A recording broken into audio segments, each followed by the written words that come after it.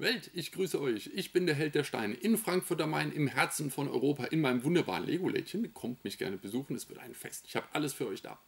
Heute zeige ich euch ein äh, schönes Schiffchen von Star Wars aus der Old Republic Serie von 2012. 740 Teile, die 9500. Das ist ein Sith Fury Class Interceptor. Großartig.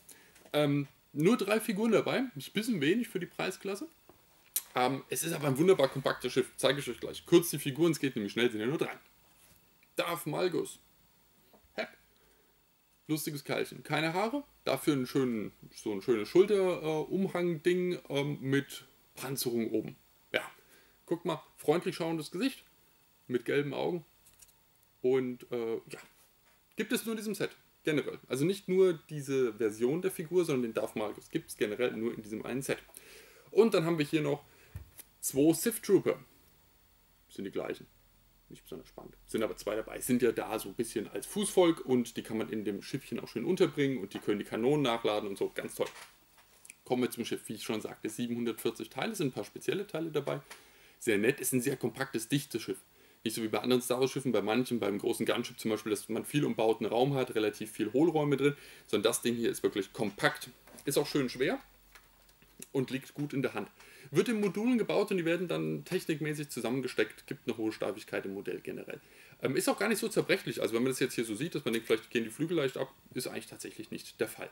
Sehr schön, mir gefallen wie immer, ihr kennt mich ja, die großen Teils hier oben, die schönen Kacheln und Flächen gefallen mir sehr schön.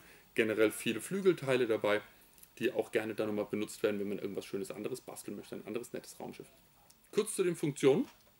Natürlich ein Cockpit ähm, mit Print, kann man aufklappen, kann man, also zweistufig, hier hinten ist ein Gelenk, hier ist ein Gelenk, kann man hochklappen. Hier drin kann man dann so eine Treppe runterwursteln und dann dieses äh, Gelenk hier öffnen. Hier ist so ein bisschen eine Kommandozentrale. Ich zeige euch das mal ein bisschen, damit ihr ein bisschen da reingucken könnt, was man da aufklappen kann. Und hier hinten kann man dann Darth Malgus reinsetzen. Man klappt es wieder zu, klappt es hoch, Deckel drauf und wir sind startklar. Auf der Rückseite ist es noch ein bisschen aufwendiger gemacht haben wir auch wieder eine schöne Klappfunktion, Gelenk hier und nochmal ein Gelenk hier, um es richtig aufzuklappen. Hier ist die Unterbringung für die beiden Sith Trooper.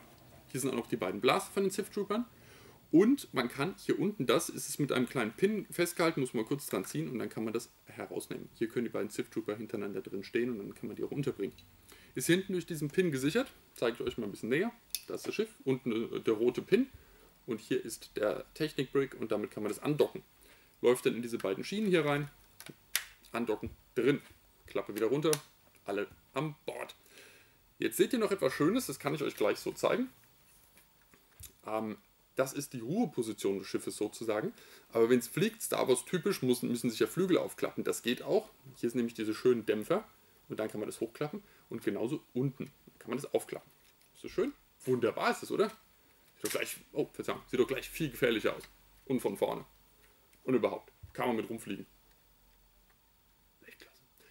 Auf der oberen Seite hält es ja toll durch die Schwerkraft dann drauf und wackelt nicht rum, ist ja dann sicher. Auf der unteren Seite wird es dann immer so leicht aufklappen, wäre nicht schön gelöst. Hat Lego was Tolles gemacht? Ich mache ja wieder Zeug. Ähm, hier sind diese beiden äh, Technikkugeln angebracht. Auf der anderen Seite ist eine modifizierte Platte mit einem kleinen Pin, wie ihr das kennt bei City-Autos, zum ähm, Anhänger anzubringen. Und wenn man das herunterklappt, wird dieser Knubbel dann über diese beiden Technikkugeln gedrückt. Dadurch ist er fest ist das toll? Weltklasse. Gucken, das hier oben hat sich ja jetzt durch das Rumkippen gelöst. Würde auch unten die ganze Zeit passieren und runterbaumeln. So ist es fix. Äh, Aufkleber sind natürlich auch dabei. Hier seht ihr an der Seite diese Schienen. Die werden eigentlich mit Aufklebern versehen. Die sind noch hier in der, in der Hülle drauf. Das ist auch noch die Pappe, um diese wunderbaren, perfekt erhaltenen Originalanleitungen unterzubringen. Ich habe auch noch ein paar Ersatzteile dazu, die beim Bau übrig geblieben sind. Also rundum ein perfektes Modell im absoluten Neuzustand. Das Ding ist wie geleckt. Ähm, einfach nur aus der Packung genommen, aufgebaut, das war's. Ein schönes Set, selbstverständlich vollständig, Figuren sind dabei, habe ich euch ja gezeigt. Das steht jetzt hier, kommt gerne vorbei, kommt mich besuchen, kommt das Modell besuchen, schaut euch an, was ich noch so alles für euch habe. Habt ja alles da, wisst ihr ja, gell? Figuren, Ersatzteile, alle neuen Sets, sehr viele alte Sets, gebrauchte Sachen, neue Sachen, einfach alles. Schaut euch unten mal meine äh, Webseite an und meinen Brickling-Shop. Das wäre ein Fest. Macht's gut, bis bald.